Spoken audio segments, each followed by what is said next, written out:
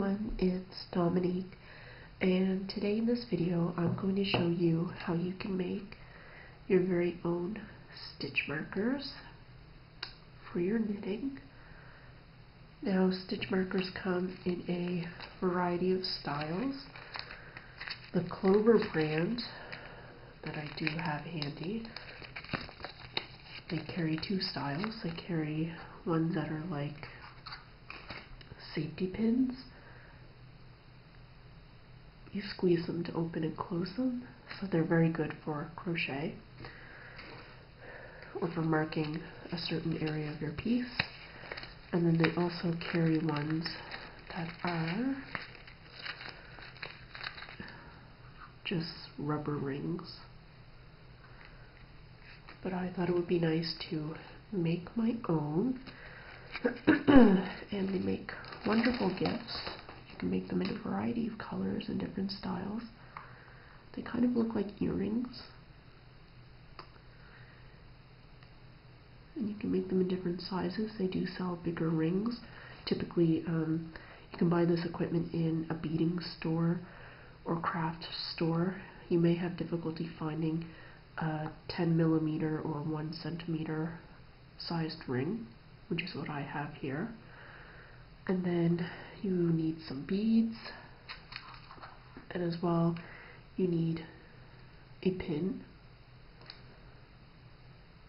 And it has to have a very flat end on the bottom so your beads will stay in the position and a flat end on top. So it's not a nail. Looks like a nail but it's not. You will also need pliers or wire cutters. Um, I don't recommend these. I got these on a whim.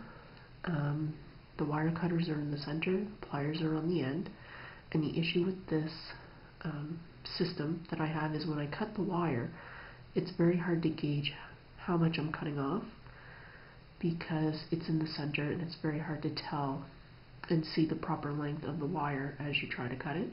So if you can invest into a separate tool that has a wire cutter at the end and then regular wire pliers so you can bend and twist your wire whatever way you want. So start with your pin and here's my bead collection. It's not very big but it's getting there.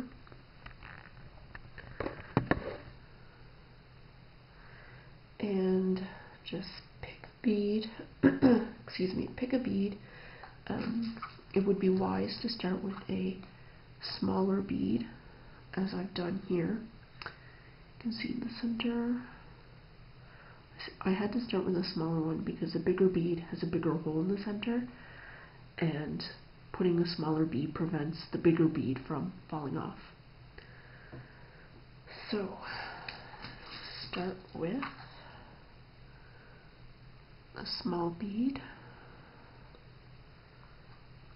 and just thread them on whatever way you like. I have a pink flower bead.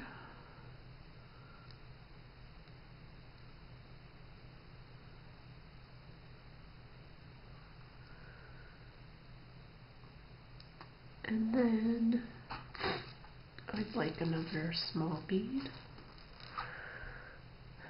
And if you're giving these as a gift, it would be best to give them in at least a package of four. Oh, I have two flower beads, so I'll remove one. and the reason why I suggest four, minimum of four, for a gift for a knitting friend, um, that way they can for example, if they're knitting a sweater that has sleeves, or if they're knitting some trousers or pants, then they have um, both sides evenly marked. So at least four, go from there. And maybe, what did I do here? I did blue. So maybe I'll do something a little bit, do a clear one.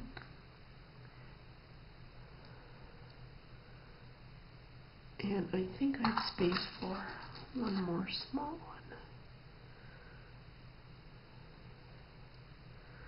So you want to make sure you still have enough wire at the top to fold over your metal ring. And when you're cutting wire, it's always best to cut a little amount first. And if you need to cut more, then cut a little bit more. Because I'm noticing I've been cutting off too much wire, and I think it's primarily because my wire cutters are back here and not at the front, so I have less control over my gauge. So, this is going to be my new stitch marker. I'll post photos of it on my blog as I make the sets. And then you want to put your ring over the wire and then start bending. You can use your wire pliers and start bending it so that way you can either try and fit the end of the wire into one of the beads, that way it doesn't catch onto the knitted work, which is a really good idea. So if you can manage it, bend it in. If not, susceptible to close the wires together, the end of the wire and the main body of the wire where all the beads are on. Try and keep them as close together as possible to prevent snagging on the work. So you may have to flick it around a bit until you get it into the proper position. You may need to use tweezers to hold it here. and just use a firm grip once you're in the proper position that you want to close the wire or bend the wire. Be careful not to squeeze your beads because if they're glass or ceramic, porcelain, crystal, they may break.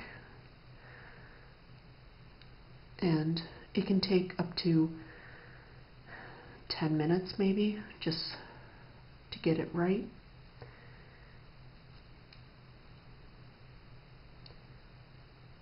And I also recommend trimming the wire if you need to. And a lot of these, they're called jump rings or split rings.